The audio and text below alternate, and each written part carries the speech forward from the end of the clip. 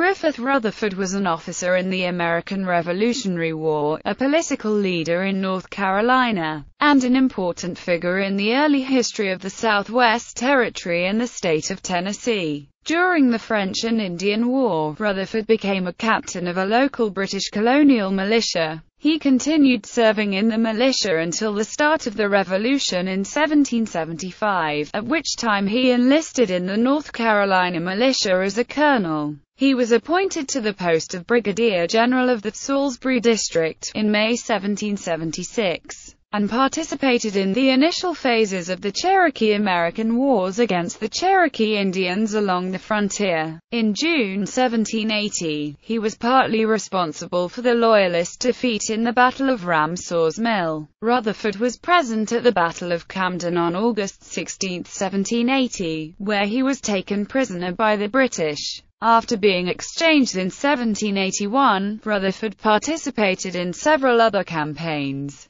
including further attacks on the Chickamauga faction of the Cherokee. Originally from Ireland, Rutherford immigrated with his parents to Philadelphia, Pennsylvania colony, at the age of 18. In 1753 he moved to Rowan County, in the province of North Carolina, where he married Elizabeth Graham. An active member of his community, Rutherford served in multiple civil occupations. He was a representative of both houses of the North Carolina House of Commons, as well as an unsuccessful candidate for governor. Rutherford was an advocate of the anti-federalist movement and was appointed president of the Legislative Council of the Southwest Territory in 1794. Rutherford retired to Sumner County, Tennessee, where he died on August 10, 1805, at the age of 84. Early life Little is known about Griffith Rutherford's early life. Born in Ireland in either 1721 or 1731, to John Rutherford,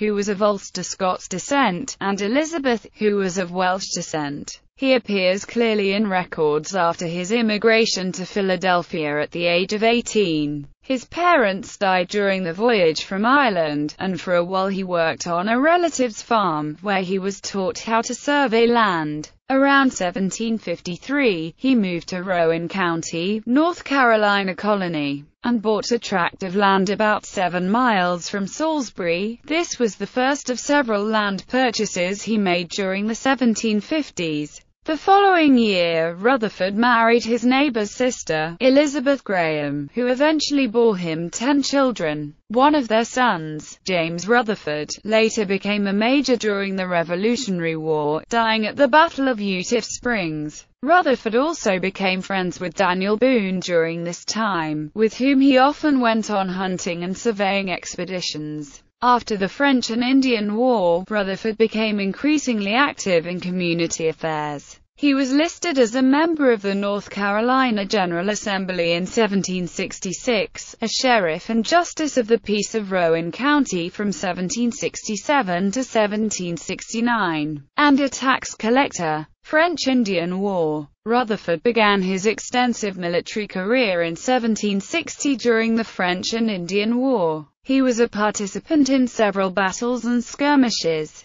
most notably the Battle of Fort Duquesne, the battle at Fort Dobbs, and James Grant's campaign against the Cherokee in the southern Appalachians. By the war's end, he had achieved the rank of captain. Between 1769 and 1771, he embraced the cause against the rebels during the Regulator movement commanding a local militia which participated in the Battle of Alamance. The following month, Rutherford retired to Salem to recover from an acute attack of gout.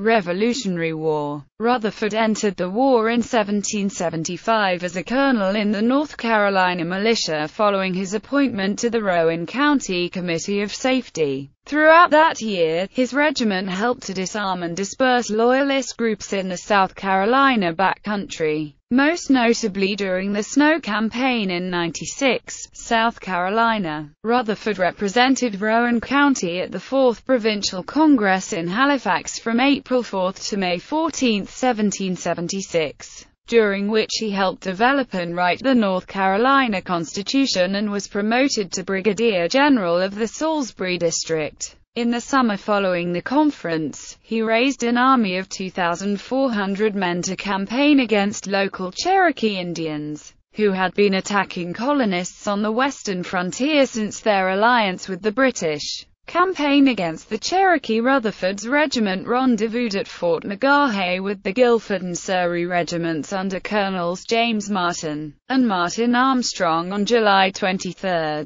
From there, the three groups traveled through the Blue Ridge Mountains at the Swannanoa Gap, passed up the valley of Hominy Creek, and crossed the Pigeon River. They then passed through Richland Creek, near the present-day town of Waynesville, North Carolina, and crossed the Tuckasegee River near an Indian settlement. They moved further onwards towards the Cowee Gap, where they had a small engagement with a band of Cherokee, in which one of Rutherford's men was wounded. Williamson was on a similar mission and readily joined forces with the original three regiments. The now four regiments skirmished with hostile Indians at Valley Town, Ellijay, and near the southern Watauga settlements. Eventually, the Indian tribes were subdued at the cost of three fatalities to Rutherford's regiment. Casualties to the Indians, however, were severe. By the end of the conflict, the four regiments had destroyed 36 Indian towns, decimated acres of corn farms, and chased off most of the Indians' cattle. Afterward, Rutherford returned home by the same route. He arrived back in Salisbury in October, where he disbanded his troops. Southern theatre British strategists viewed the southern colonies, especially lightly populated Georgia, as the most vulnerable of all. Despite early victories won by the Patriots at Charleston and other settlements, the South became the focus of English attacks starting in 1778.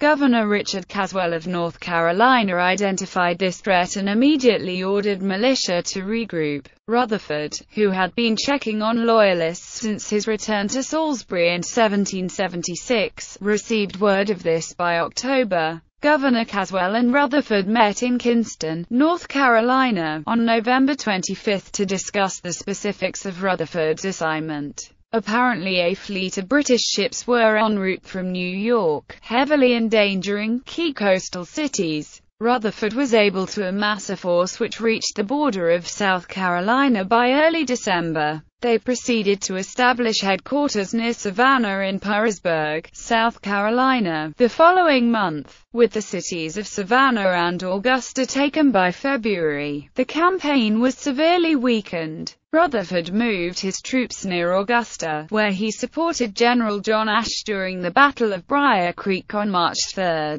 Soldiers' enlistments soon began expiring. By April 10 most of Rutherford's forces returned to North Carolina. The loss of Charleston in 1780 was a huge blow to the Patriot cause and posed a significant threat to neighboring North Carolina, which lacked adequate defenses due to expiring enlistments. Rutherford saw this danger, calling back his remaining troops stationed in South Carolina and ordering all soldiers from Salisbury to rally near Charlotte, North Carolina. A force of 900 had accumulated by early June. Battle of Ramsour's Mill After rallying troops at Charlotte, Rutherford received information that Loyalists were gathering at arms at Ramsour's Mill, near present-day Lincolnton, North Carolina, and issued orders for local officers to disperse the group before they evolved into an even greater threat. After collecting troops from Rowan and Mecklenburg counties, Rutherford moved his men to the Catawba River and crossed it at the Tuckasegee Ford on June 19.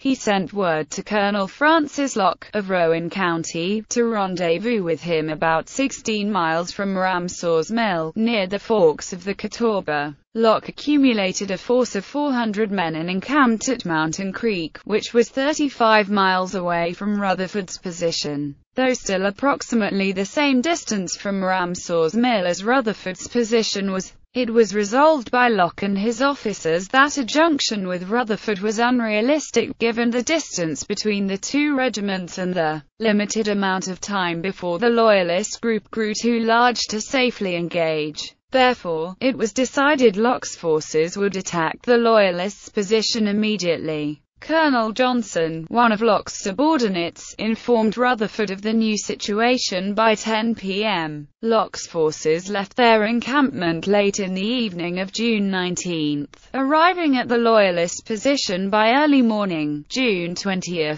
The Patriots took the Loyalists by surprise. While at first bewildered and confused, the Loyalists retaliated by firing at Locke's cavalry, who were forced to fall back. The Patriots eventually forced the Loyalists to retreat to their camp, though it was discovered that they were regrouping on the other side of the mill stream. At this point, since an immediate attack from the Loyalists was expected, messages were sent to Rutherford, who had advanced to within six miles of Ramseurs, to immediately move forward. Rutherford met Locke within two miles of Ramseurs, where he was informed that the Loyalists were in full retreat. Battle of Camden The losses at Savannah, Charleston and the Battle of Waxhaws had practically driven the Continental Army from the South, with state defenses reduced to a number of locally led partisan militias. In response to the loss of military presence, Congress sent Horatio Gates, who had distinguished himself at Saratoga,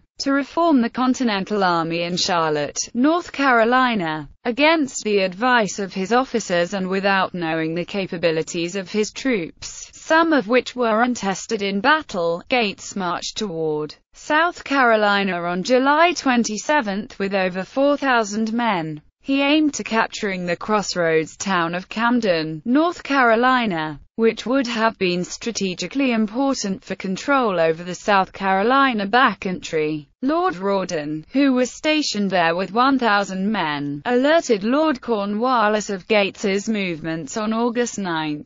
Cornwallis arrived at Camden by August 13 with reinforcements, increasing the British presence there to over 2,000 men. The battle ensued at dawn on August 16, 1780. Rutherford was positioned in the center of the Continental Formation with other North Carolina militia. During the battle, he was wounded and taken prisoner. He was detained for 10 months at Castillo de San Marcos in St. Augustine, Florida, and was later exchanged for another prisoner in 1781. Later war Rutherford returned to Salisbury in September 1781 after his release to find his home ransacked by British troops. After a short reunion with his family, Rutherford trained and took command of 1,400 men and allegedly began to brutally attack Tory militias and communities according to several reports sent to his superior, General Greene. Greene disagreed with Rutherford's tactics, warning Rutherford that these methods would only encourage the Loyalist cause.